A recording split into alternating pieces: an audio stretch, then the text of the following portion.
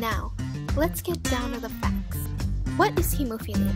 Hemophilia is a rare bleeding disorder in which the blood doesn't clot normally because it lacks sufficient clotting factors. So basically, if you accidentally cut yourself, you will bleed a whole lot more than a normal person. Jeez, that would suck. So, there are two types of hemophilia, hemophilia A and hemophilia B. Hemophilia A is caused by a mutation in the gene factor VIII, so there is a deficiency in the clotting factor. Girls can be a carrier of this gene. Hemophilia B is caused by a mutation in the ninth factor of the gene in the corresponding chromosome. This one is seen more commonly in men.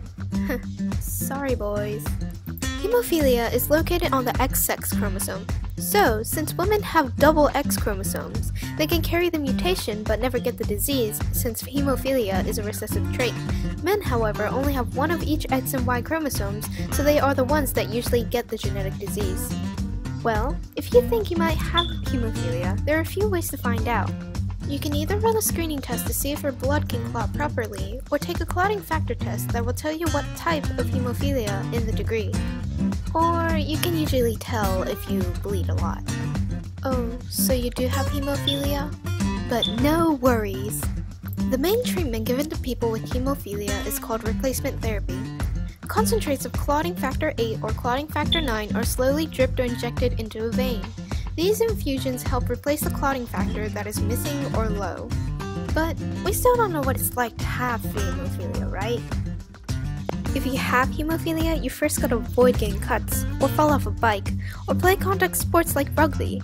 Basically, you have to avoid hurting yourself like this guy. Yeah, never do that. You should also avoid taking aspirin, ibuprofen, naproxen, and other anti-inflammatory medicines because they increase the risk of bleeding. But if you started bleeding, you can slow it down by eating popsicles or applying ice packs. Well, here's a fun fact.